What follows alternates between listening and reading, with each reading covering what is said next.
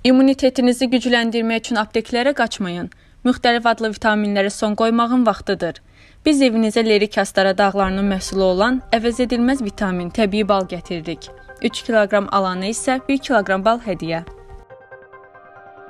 Yanvarın 25-də Nazirlər Kabineti yanında operativ qərargahın qəbul etdiyi qərarlarla bir sıra məhdudiyyətlər götürüləcək. 25 yanvar saat 00-dan etibarən ölkə ərazisində aşağıdakı iş və xidmətlərin fəaliyyətinə icazə veriləcək.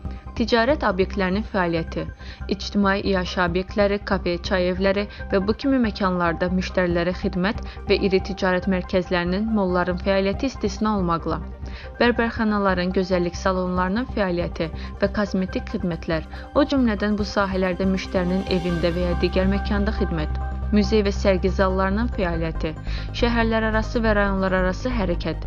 2021-ci il 1 fevral saat 00-dan etibarən ölkə ərazisində ictimai yaşayış obyektləri, eləcə də restoran, kafe və çay evləri və bu kimi digər məkanlarda müştərilərə saat 6:00-dan 00-dək yerində xidmətlər bərpa olunacaq. Azərbaycan ordusunun daha bir itkin düşmüş hərbi qulluqçusunun nəşi tapılaraq dəfn edilib.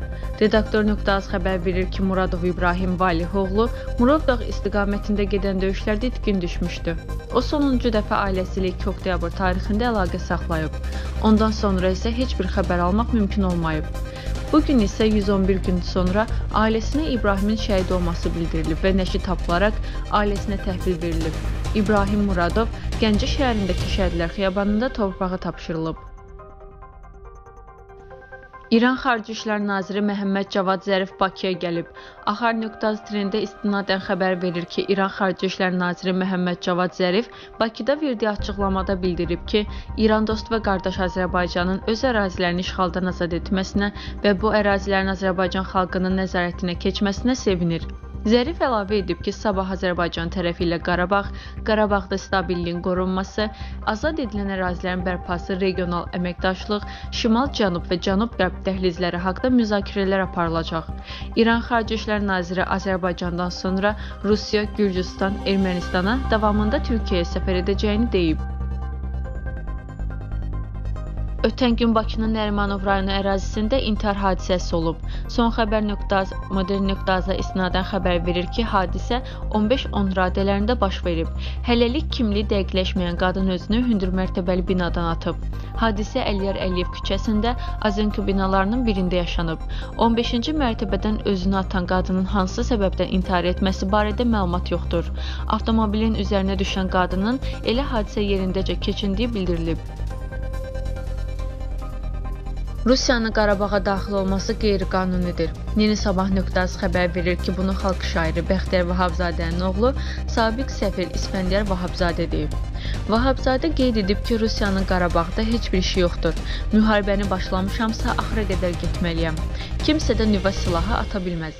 Rusiyanı niyə bu qədər ilahiləşdirirlər? Biz Xankəndiyə daxil olmalı idik. Rusiya artıq ərazini öyrənir, erməniləri köçürür, bu bir bəladır. Yanvarın 23-də Nigeriya sahillərində Türkiyə şirkətinə məxsus Mozart gəmisi dəniz quldurları tərəfindən ələ keçirilib. Gəmiyə basqın zamanı 19 nəfərdən 15 nəfəri girov götürülüb və bir nəfər isə öldürülüb. Həmin öldürülən isə Siyəzən şəhər sakini Fərman İsmayılovdur. Milli.az.oxu.az-a istinadən xəbər verir ki, həm yerlimiz Fərman İsmayılovun ölüm xəbəri yaxınları üçün gözlənilməz olub. Fərman İsmayılovun qardaşı Araz İsmayılov bildirib ki, qardaşının ölüm xəbərini eyni şirkətdə işləyən başqa Azərbaycan vətəndaşından alıb. Ümid etmək istərdim ki, Baydenin Azərbaycanla bağlı siyasəti kifayət qədər təmkinli olacaq. Hər halda Azərbaycan Ermənistan deyil. Ona təzyiq göstərmək alınmayacaq. Müsavat.com xəbər verir ki, bunu Moskva-Bakı portalına Rusiyalı hərbi siyasi ekspert, Milli Müdafiə jurnalının baş redaktoru Igor Karatçenko söyləyib. Bu gün Cənubi Qafqazda yeni reallıqlar var. Azərbaycan Qarabağ müharibəsində qalib gəlib və öz ərazi bütövlüyünü bərpa edib. O həm də Avropanın enerji təhlükəsizliyində iştirak edən edən bir dövlətdir. Eyni zamanda biz artıq erməni lobbisinin Amerika Birləşmiş Ştatının Konqresində erməni lobbiçilərinin funksiyalarını yerinə yetirən şəxslərin fəallaşdığını görməkdəyik. Onlar artıq bu kartı oynamağa başlayırlar. Amerikadakı və Rusiyada daxil olmaqla bir sıra digər ölkələrdəki erməni lobbisi nüfuzlu, maddi baxımdan güclüdür. Ona görə də o, Biden administrasiyasından Azərbaycana qarşı düşmən siyasi qərarlar vermək üçün istifadə etməyə çalışacaq deyə analitik qeyd edib. Karatçenkonun sözlərinə görə istənilən halda rəsmi Bakı Azərbaycan-ABŞ təmaslarını, diplomatik münasibətlərini kifayət qədər yüksək səviyyədə həyata keçirə biləcək. Azərbaycan yetərincə iri müstəqil oyunçudur. Avropa Birliyi üçün enerji daşıyıcılarının mühüm təqarrüdçüsü, ümumilikdə isə nüfuzlu və sayılan bir ölkədir və burada dialoq hörmətli aparılacaq deyə təhlilçi vurğulayıb. Rusiyalı ekspertə görə o ayrı məsələdir ki, Azərbaycan öz siyasətini, ABŞ isə öz siyasətini həyata keçirəcək və burada həmişə olduğu kimi dünya arenasında tərəflərin hər biri özləri üçün mümkün kompromislər çərçivəsində istədiklərinə nail olacaqlar. Biden rəhbərliyin siyasətində ermənipərəst qulaqlar qabarıq görünəcəkmi? Bunu gələcək göstərəcək. Tramp administrasiyasında İsrailin təsirinin nə qədər güclü olduğunu hamımız xatırlayırıq. İndi erməni lobbisinin vəzifəsi ən azından özü üçün bu cür mövqe təmin etməkdir. Düşünürəm ki, onlar üçün bu çox çətin bir vəzifə olacaq deyə o əlavə edib. Tanınmış müğənni Nadir Qafarzadə Azərbaycan musiqisinin bugünkü durumundan danışıb.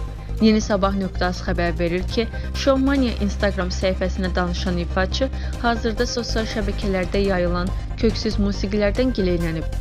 Azərbaycan musiqisi uçuruma gedir. Muğam istisna Azərbaycan musiqisi demək olar ki, yox dərəcəsindədir. Bugünkü ara musiqiləri, köksüz musiqilər vəziyyəti bu həddə gətirib çıxarıb. Vinegret salatına bənzər musiqilər var. Bilmirsən Hind musiqisidir, İrandır və ya türkdür. Azərbaycana heç bir dəxli, adiyyatı yoxdur. Bəlkə də bəstəkarlar yetişmir, yaxud insanların zövqü korlanıb. Sosial şəbəkələrdə bəzi adminlər var ki, sözü gedən musiqiləri təbliğ edirlər. Pul müqabilində bu musiqiləri reklam edirlər. Özlərini satdıqları kimi Azərbaycan musiqisini də satırlar. İçimizdə satılmışlar var. Onlar xain insanlardır, düşmənlərdir. Necə ki erməni bizim torpağımızı xaincəsinə, ədalətsiz şəkildə zəbt elədi, onlar da beləcə bizim musiqimizin axırına çıxmaq istəyirlər. Budur, biz sonra ermənilərə qalib gəldik. Amma bunlara qalib gələ bilmirik. Çünki onların məkanı da, kökü də bilinmir. Bilirsiniz, qanı xarab insanlar var. Elə bil Azərbaycan musiqisinə mədəniyyətinə düşmən kəsiliblər. Mən həmin köksüz musiqiləri təbliğ edən səhifə adminlərinə səslənirəm. Demək istəyirəm ki, abrınız həyanız olsun.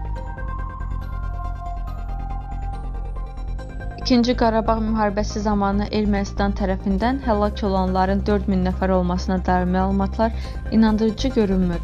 Hesablama metodologiyası anlaşılmazdır. Yeni Sabah.az xəbər verir ki, bunu erməni hərbi ekspertlərinə istinadən Qafqaz qovşağı yazıb. Xatırladaq ki, yanvarın 20-sində Ermənistan baş nazirinin müavini Tiqran Avinyan Dağlıq Qarabağda erməni tərəfindən həlak olanların 3439 meyidinin tapıldığını bildirib. Ümumiyyətlə Ermənistan hakimiyyəti əmindir ki, Dağlıq Qarabağ uğrunda gedən döyüşlərdə erməni tərəfinin itkiləri 4000 nəfərdən çox deyil. Hərbi analitik Ayk Xaçikyan nəşrə bildirib ki, baş nazir müavininin müharibə zamanı həlak olanların təxminən 4000 nəfər olmasına dair bəyanatı o vaxt doğru olardı ki, hərbi itkilərin hesablanması metodologiyası təqdim olunardı. Dağlıq Qarabağdan olan hərbi qulluqçuların, müharibədə həlak olanların və Dağlıq Qarabağda dəfn olunanların nəzərə alınıb alınmadığı məlum deyil deyə o bildirib. Mənim müşahidələrimə görə Ermənistan tərəfinin itkiləri ən az 6000-dir deyə o qeyd edib. Xaçekyan həmçinin pilotsuz aviasiyadan istifadənin rəqibə itkilərinin sayını azaltmağa imkan verdiyini də vurğulayıb. Azərbaycan tərəfi əsas itkiləri müharibənin əvvəlində müdafiə xəttini yarmağa çalışarkən verib. Bundan sonra pilotsuz zərbə təyyarələrini daha çox ərazidə, o cümlədən artilleriyanın məhv edilməsi üçün tətbiq etmə imkanı əldə etdi və bu da rəqibin itkilərinin sayına ciddi təsir göstərdi deyə erməni hərbi analitiki bildirib. Hərbi ekspert Robert Nazaryan da razılaşır ki, PUA-ların tətbiqi Azərbaycan tərəfinin hərbi itkilərini azaldıb. Pilotsuz uçan aparatların və texnologiyaların tətbiqinin prioritet vəzifəsi məhz öz itkilərinin azaldılmasıdır deyə o Qafqaz qovşağının açıqlamasında bildirib. Nazaryan Ermənistan baş nazirinin erməni tərəfindən 4000 nəfərin həlak olması barədə bəyanatını qiymətləndirməkdə çətinlik çəkib. Onun sözlərinə görə də bu iddialar inandırıcı görünmür. Bununla belə o Ermənistan tərəfinin hərbi itkiləri ilə bağlı rəqəm vermək istəməyib. Rusiya prezidenti Vladimir Putini dəstəkləyənlərin sayı qanunsuz etiraz aksiyalarına çıxanlardan xeyli çoxdur. Yeni Sabah.az xəbər verir ki, bu fikri Rusiya prezidentinin mətbuat katibi Dmitri Peskov Rusiya bir telekanalında yayımlanan Moskva Kreml Putin proqramı üçün müsahibəsində bildirib. İndi çoxları deyəcək ki, qanunsuz aksiyalara çoxlu adam çıxıb. Xeyr, az adam çıxdı. Çox adam Putinə səs verdi, deyə Peskov qeyd edib. Prezidentin mətbuat katibi xatırladıb ki, vətəndaşların çoxu konstitusiyaya edilən düzəlişlərə də səs verib. Mən bütün nöqteyi nəzərlərə hörmətlə yanaşıram, amma qanunsuz aksiyalarda iştirak etməyin qəti əleyhinəyəm. Çünki orada başqa qiymətləndirmə də ola bilməz. Bu qanunun pozulmasıdır deyə Kremlin nümayəndəsi vurğulayıb.